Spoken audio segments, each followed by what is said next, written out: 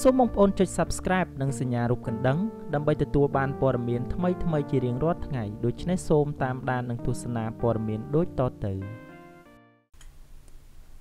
បាទសូមគោរពនឹងជម្រាបសួរពុកម៉ែបងប្អូនទាំងអស់គ្នាស្វាគមន៍មកកាន់ Channel ព័ត៌មានតារាគណៈពេលនេះខ្ញុំបាទសូមនាំអារម្មណ៍ពុកម៉ែបងប្អូនមកតាមដាននៅព័ត៌មានសិល្បៈមួយចំនួន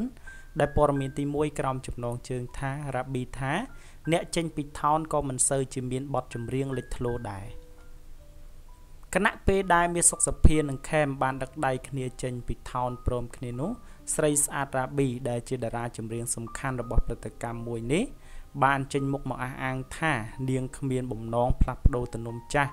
ឬចូលទំនុំថ្មីដូចជារៀមច្បងឡើយនាងថានៅតែមានសេចក្តីសុខជាមួយនឹងថោនហើយនៅពេលនេះនាងសង្កេតឃើញថាអ្នកដែលចេញពីថោនទៅក៏មិនសូវជាឃើញមានអ្នកណាចេញបទចម្រៀងដែលលេចធ្លោនោះដែរ អញ្ចឹងនាងប្រកាន់ចំហថានឹងមិនបដូរផលិតកម្មនាពេលនេះឡើយរ៉ាប៊ីបានប្រាប់ថាមានគេឈ្មោះនិងជីវភាពផ្លាស់ប្ដូរដោយសារតែថោនបានផ្ដល់ឱកាសឲ្យរូបនាងហេតុនេះហើយបានជារូបនាង មិនចង់ទៅផលិតកម្មណាផ្សេងនោះទេ ព្រោះតែ បើទៅផលិតកម្មណាក៏រូបនាងនៅតែធ្វើបទចម្រៀងដោយខ្លួនឯងដដែលហើយការទៅផលិតកម្មផ្សេងអាជីពជាតារាចម្រៀងនេះពិបាកណាស់ ព្រោះអាចមានអ្នកកាច់កងគ្នាកាន់តែពិបាកជាងកន្លែងចាស់ថែមទៀតការវាចារបស់ស្រីស្អាតរ៉ាប៊ីនៅពេលនេះគឺប្រហាក់ប្រហែលឬក៏ស្តៀងទៅនឹងអតីតតារាចម្រៀងថោនលោកខេមដែរដែលធ្លាប់ប្រាប់នាយកព័ត៌មានយើងថាបានល្បីនឹងជីវភាពធូរធារព្រោះតែថោនផ្ដល់ឱកាសហើយបើចាក់ចេញពីថោនទាល់តែថកែដេញចេញលែងឲ្យច្រៀងតែទីបំផុត លោកខេមបានបាយបាយថកែថោនហើយថែមទាំងវាយប្រហារថកែចាស់យ៉ាងចាស់ដៃទៀតផងក៏ប៉ុន្តែរ៉ាប៊ីវិញបាននិយាយថា នាងមិនដើរតាមគន្លងខេមនោះទេ ហើយរូបនាងនៅតែចាត់ទុកថាថកែប្រុសស្រីរបស់ថោនពិតជាមនុស្សល្អចំពោះកូនចៅទាំងអស់គ្នាមែនដែលរឿងមួយនេះបុគ្គលិកទាំងអស់របស់ថោនអ្នកណាក៏ដឹងដែរ ដោយឡែកតកតងទៅនឹងស្នេហាវិញតារាចម្រៀងវ័យ27ឆ្នាំរូបនេះនៅតែធ្ងោថាអត់មានសង្សារបណ្ដាដោយរូបនាងថែមទាំងស្នើឲ្យអ្នកយកព័ត៌មានជួយរកសង្សារជាប្រុសក្មេងរូបសង្ហាឲ្យរូបនាងម្នាក់គ្រាន់នឹងគៀកកើយដូចជាតារាផ្សេងផ្សេងទៀតផងដែរក៏ប៉ុន្តែគេមិនសូវជាជឿជាក់លើរ៉ាប៊ីថាអត់មានប្រុសស្នេហ៍នោះទេដែលការវាចាបែបនេះគ្រាន់តែរូបនាងចង់លាក់មុខម្ចាស់ចិត្តមិនឲ្យគេស្គាល់ច្រើនជាង បាទនេះគឺជាការលើកឡើងរបស់រ៉ាប៊ីថាតារាដែលចាក់ចេញពីថោនក៏មិនសូវជាមានបទចម្រៀងលេចធ្លោនោះដែរហើយការវិចាររបស់នាងនៅពេលនេះដូចទៅនឹងលោកខេមកាលពីមុនបេះបិទតែម្ដងព្រោះថានៅពេលនេះរូបនាងកំពុងតែឡើងកោតខ្លាំងខណៈពេលដែលពីមុនលោកខេមនៅពេលដែលរូបលោកឡើងកោតខ្លាំងក៏មានវាចាដូចទៅនឹងរ៉ាប៊ីដែរបាទដូច្នេះសម្រាប់ព័ត៌មានទី1ខ្ញុំបាទសូមបញ្ចប់ត្រឹមតែប៉ុណ្ណេះនឹងនាំអារម្មណ៍បងប្អូនទៅកាន់ព័ត៌មានបន្ត បាទសូមបន្តមកកាន់ព័ត៌មានទី2ក្រោមចំណងជើងថា ប្រហែលជាចិត្តដល់ពេលសម្រាប់មែនតែនហើយ អ្នកស្រីពាន់ភួងបុផាប្រកាសឈប់ផលិតរឿងភាគអ្នកនិពន្ធនិងជាអ្នកដឹកនាំរឿងជើងចាស់លោកស្រីពាន់ភួងបុផាប្រកាសឈប់ផលិតខ្សែភាពយន្តភាគ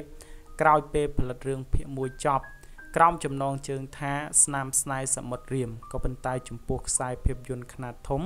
សម្រាប់ចាក់បញ្ចាំងតាមរោងភាពយន្តវិញ គឺលោកស្រីនៅតែបន្តផលិតដដែលផលិតកររូបនេះបានប្រកាសនៅចំពោះមុខផលិតកកម្ចាស់រោងភាពយន្តនិងសិល្បករសិល្បករនីជាច្រើនរូបកាលពីពេលថ្មីថ្មីថា ស្នាមស្នេហ៍សមុទ្ររៀមដែលជារឿងភាគដំបូងគេបង្អស់របស់លោកស្រីកាលពី32ឆ្នាំមុននឹងត្រូវផលិតវគ្គ2នៅក្នុងពេលឆាប់ឆាប់នេះ លោកស្រីបានបន្ថែមថាចំណុចចាប់ផ្ដើមផលិត និងដឹកនាំរឿងភាគដំបូងរឿងស្នាមស្នេហ៍សមុទ្ររៀមដូច្នេះលោកស្រីត្រូវបញ្ចប់ទៅវិញដោយរឿងស្នាមស្នេហ៍សមុទ្ររៀមវគ្គ2ចូលមកដល់វ័យ66ឆ្នាំលោកស្រីពាន់ភូមិបុផាហាក់មានរាងកាយទ្រុឌទ្រោមខ្លាំងក៏ប៉ុន្តែចំពោះប្រាជ្ញាស្មារតីផលិតរឿងថ្មីថ្មីបន្ថែមទៀតគឺនៅតែមាន ទោះជាយ៉ាងណាលោកស្រីចាប់ផ្ដើមទម្លាក់ដៃបន្តិចហើយជាក់ស្ដែងការប្រកាសឈប់ផលិតរឿងភាគដោយរក្សាជំហរនៅផលិតរឿងខ្នាតធំមួយចំនួនរបស់លោកស្រីនាពេលខាងមុខរឿងស្នាមស្នេហ៍សមុទ្ររៀមវគ្គ2នឹងត្រូវចាក់បញ្ចាំងនៅស្ថានីយ៍ទូរទស្សន៍ PNN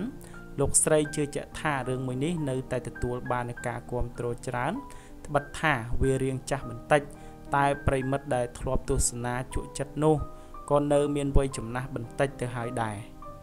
ដូច្នេះសង្ឃឹមថារឿងស្នាមស្នេហ៍សមុទ្ររៀមវគ្គ2នឹងត្រូវចិត្តទស្សនិកជន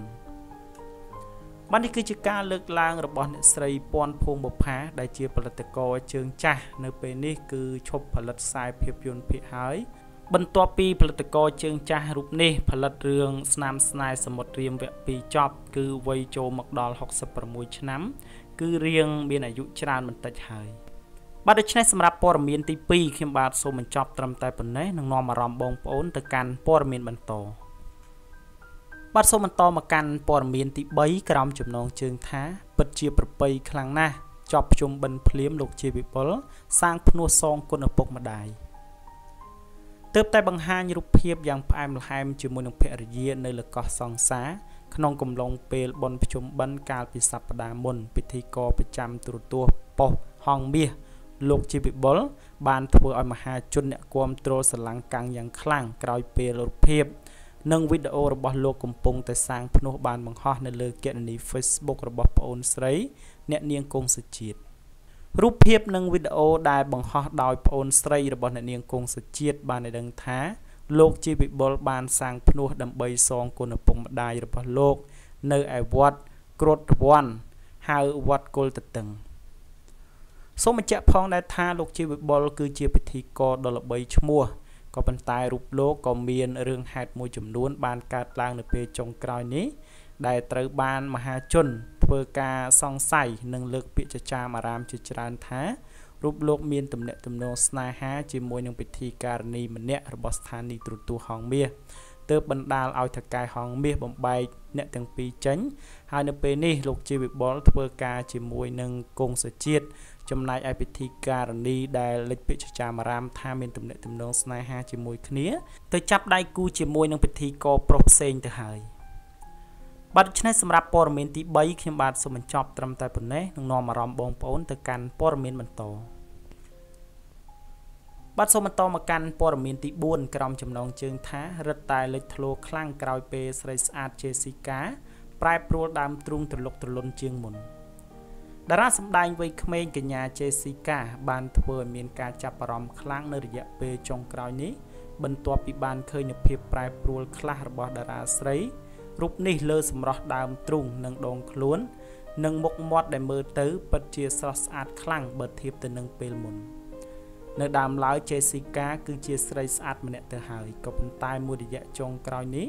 រូបនាងកាន់តែលេចធ្លោក្រោយពេលបង្ហាញនូវភាពតាក់ទាញខ្លាំងថែមទៀត។ ក៏ប៉ុន្តែអ្វីដែលខុសប្លែកខ្លះគឺដើមឡើយ Jessica គឺជាតារាស្រីមួយរូបដែលមានភាពសកុតសគុំច្រើនក៏ប៉ុន្តែរហូតមកទល់នឹងពេលនេះរូបនាងបានប្រែមកជាសិចស៊ីជាងមុនបន្តិចគណៈពេលដែលប្រិមិត្តក៏កត់សម្គាល់ថាតារាស្រីរូបនេះពិតជាស្អាតប្លែកជាងមុនផងដែរចំណុចដែលកត់សម្គាល់បំផុតនោះគឺ Jessica ដែលកាន់តែពេញក្រមុំនោះពិតជាលេចធ្លោខ្លាំងនៅត្រង់សម្ផស្សដើមទ្រូងស្របពេលមួយរយៈនេះ នាងឧស្សាហ៍បញ្ចេញរូបភាពសិចស៊ីបង្ហាញចំណុចតាក់ទាញគឺដើមទ្រូងធំត្រលុកត្រលុនរបស់នាងផងដែរប្រិមិត្តជាច្រើនដែលបានឃើញរូបភាពសុទ្ធតែទុកមាត់មិនសរសើរមិនបានថា Jessica ឥឡូវពិតជាស្រស់ស្អាតណាស់មិនថាទម្រង់មុខតែបរិវេណដើមទ្រូងដែលនៅខ្វះចន្លោះកាលពីអតីតកាលនោះនៅពេលនេះស្អាតនិងតាក់ទាញភ្នែកខ្លាំងសម្បើមណាស់ បាទនេះគឺជាការប្រែប្រួលនៅរូបរាងរបស់ Jessica ដែលពីមុនរូបនាងមានដើមទ្រូងតូចនោះទេ ហើយត្រូវបានមហាជនចាប់អារម្មណ៍ថានៅពេលនេះគឺធំប្លែកខុសពីមុន ហើយសង្ស័យថារូបនាងកែសម្ផស្សដើមទ្រូងទៀតផងបើតាមរយៈរូបភាពប្រមាណសន្លឹកនេះគឺมันអាចប្រកែកបានថា Jessica មិនស្អាតនោះទេព្រោះថារូបនាងប្រែប្រួលខ្លាំងតាមរយៈការតុបតែងខ្លួនបែបសិចស៊ីនិងបង្ហាញអំពីសម្រស់ដើមទ្រូងរបស់នាង។ បាទដូច្នេះសម្រាប់ព័ត៌មានបទី4នេះខ្ញុំបាទសូមបញ្ចប់ត្រឹមតែប៉ុណ្ណេះនឹងនាំអារម្មណ៍បងប្អូនទៅកាន់ព័ត៌មានបន្តបាទសូមបន្តមកកាន់ព័ត៌មានបញ្ចប់ក្រោមចំណងជើងថាទោះបីជាបាត់បង់កូនមែនក៏ប៉ុន្តែកុលដាវីត្រូវបានស្វាមីជូនដើរលេងយ៉ាងសប្បាយចិត្តជាការពិតណាស់កាលពីជាងកន្លះខែមុនមហាជនដែលជាអ្នកគាំទ្រជាច្រើន បាននាំគ្នាសម្ដែងក្តីទុកព្រួយក៏ដូចជាចូលរួមសោកស្ដាយជាខ្លាំង នៅពេលដែលបានទទួលដំណឹងនៃការបាត់បង់កូននៅក្នុងផ្ទៃរបស់តារាសម្ដែងកុលដាវីដែលជាភរិយារបស់តារាចម្រៀងសុករក្សា ដោយការបាត់បង់កូននៅក្នុងផ្ទៃទៅនឹងបានប្រមាណខែបែបនេះធ្វើឲ្យប្តីប្រពន្ធមួយគូនេះមានការសោកស្ដាយជាខ្លាំងយ៉ាងណាមិញក្រោយពេលមានការសម្រាកព្យាបាលសុខភាពបានយ៉ាងល្អហើយនោះយើងឃើញថាកុលដាវីហាក់បីដូចជាអាចធ្វើចិត្តទទួលយកការបាត់បង់នេះបានហើយ ដោយពេលនេះរូបនាងមានសុខភាពរឹងមាំទាំងកម្លាំងកាយទាំងកម្លាំងចិត្តដែលមានស្វាមីចេះមើលថែផ្ដល់នូវភាពកក់ក្ដៅគ្រប់ពេលមិនឃ្លាតឆ្ងាយទៅណាសោះឡើយហើយអ្វីដែលពិសេសនោះថ្មីថ្មីនេះនាឱកាសថ្ងៃឈប់សម្រាកពិធីបុណ្យភ្ជុំបិណ្ឌកន្លងទៅប្តីប្រពន្ធមួយគូនេះបាននាំគ្នាទៅលំហែកាយតាមតំបន់កំសាន្តជាច្រើនកន្លែងក្នុងនោះពួកគេបានតុបតែងខ្លួនយ៉ាងស្រស់ស្អាតស្រស់សង្ហា ទៅលេងដល់ឆ្នេរសមុទ្រខេត្តព្រះសីហនុយ៉ាងសប្បាយរីករាយបូករួមនឹងបរិយាកាសដ៏ល្អបរិសុទ្ធនៅទីនោះថែមទៀតផង ដែលធ្វើឲ្យប្តីប្រពន្ធមួយគូនេះកាន់តែបង្កើតនៅអនុស្សាវរីយ៍ជាមួយគ្នាគៀកកាយល្អោកល្អឿនយ៉ាងផ្អែមល្ហែមបង្អួតទៅដល់អ្នកគាំទ្រក្នុងនោះផងដែរតាមរយៈរូបថតជាច្រើនសន្លឹកដែលប្តីប្រពន្ធមួយគូនេះបានបង្ហោះនៅលើបណ្ដាញទំនាក់ទំនងសង្គម ពេលដែលអ្នកគ្រប់គ្រងបានឃើញហើយក៏នាំគ្នាពោលពាក្យសរសើរចំពោះចំណងស្នេហាដ៏មានសេចក្តីសុខរបស់អ្នកទាំងពីរនេះជាហូរហែផងដែរបាទនេះគឺជារូបភាពដែលមើលទៅនៅពេលនេះកុលដាវីអាចធ្វើចិត្តបានហើយនៅពេលដែលបាត់បង់កូននៅក្នុងផ្ទៃដែលរូបនាងមិនសូវជាមានបញ្ហាផ្នែកសតិអារម្មណ៍នោះទេព្រោះថារូបនាងទទួលបាននូវការលើកទឹកចិត្តពីពុកម៉ែបងប្អូនជាពិសេស fan fan របស់នាងជាច្រើន។ បាទសម្រាប់ព័ត៌មានបាទចុងក្រោយនេះខ្ញុំបាទសូមបញ្ចប់ត្រឹមតែប៉ុណ្ណេះសូមអរគុណរាល់ការតាមដាននិងការចុច Subscribe របស់បងប្អូនទាំងអស់គ្នាមកកាន់ Channel ព័ត៌មានតារានិងចុងក្រោយសូមជូនពរពុកម៉ែបងប្អូនទាំងអស់គ្នាជួបតែសុខសុវត្ថិភាពគ្រប់ពេលវេលានិងទីកន្លែង។